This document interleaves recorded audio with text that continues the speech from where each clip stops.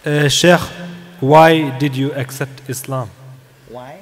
Why did you accept Islam? Why do I accept Islam? After knowing Islam, why should not I accept Islam? Because Islam is the truth. It's a way of life. It's divine. It's practical. It's logic. It's rational. Islam is the answer to whatever problem that we need to live in this world. And Islam is for you here and for you in your hereafter. Anyone who learn about Islam and understand Islam, I don't think they will not accept Islam. They are sure to accept Islam because our nature is that we love what is right. We love what is good. And we can't appreciate Islam today so easily it because the Muslim don't show good example and the media is very unjust to the Muslim.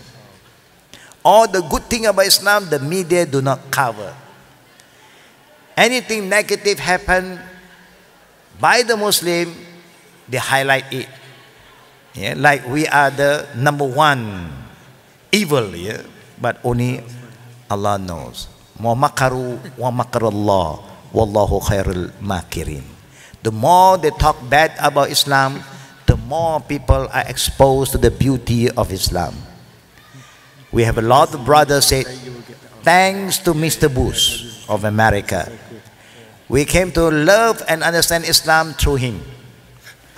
Because they attack Islam and people want to know more about this religion and they found out the truth of Islam by themselves.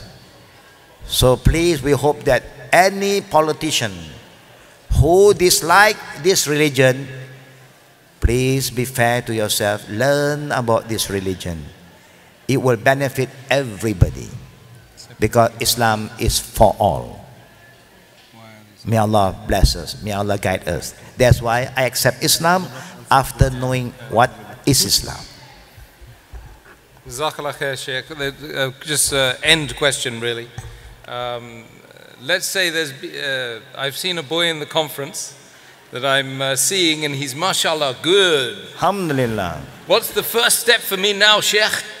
What can I do? And then the next question is, why are the brothers and sisters separated? in this Why- conference. why why are the brothers and sisters in the conference separated? I think you've just got. okay, go for it. We're going to answer it tomorrow, Sheikh, shall we? Yeah. What do you think? A quick one, a quick one will be okay, I think. Yeah, I think uh, brother and sister is good. If you have the feeling, a good one, you, you, you can keep it very secretly first. Because we do not want if something negative come from the other party, then you feel shy. You know? So you can just ask somebody to ask on your behalf. If you still feel ashamed to do that, while we are around, come to us. We will help you. We will check with the brother and whether he is still single or there is an advance booking. We do not know.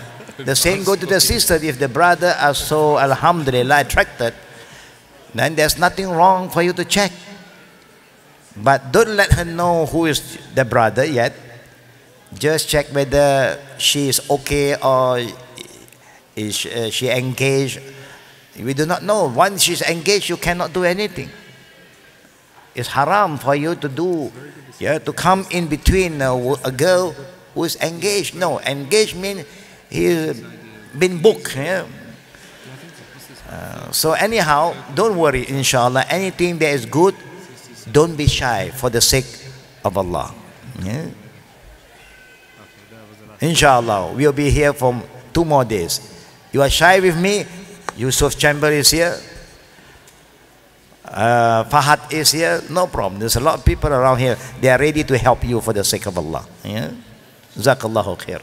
Barakallah fik, Sheikh, and that's a beautiful talk on a beautiful Islam and the beauty of Islam. Alhamdulillah. So we got that bit out of the way. Alhamdulillah. Jazakallah khair, Sheikh. You can come and sit down now Okay. and uh, relax.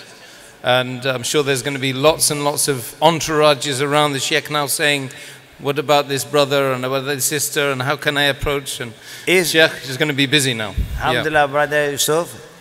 Yusuf Shambe, I think what we say is moving now. Yeah, Alhamdulillah, yeah.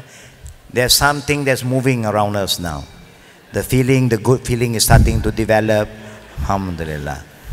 We hope after this uh, conference, no, there are more new partner. Alhamdulillah, inshallah. Don't forget the saying of the Prophet, La darar wala dirar. Again, la darar wala dirar. Last one, la darar wala dirar. Alhamdulillah.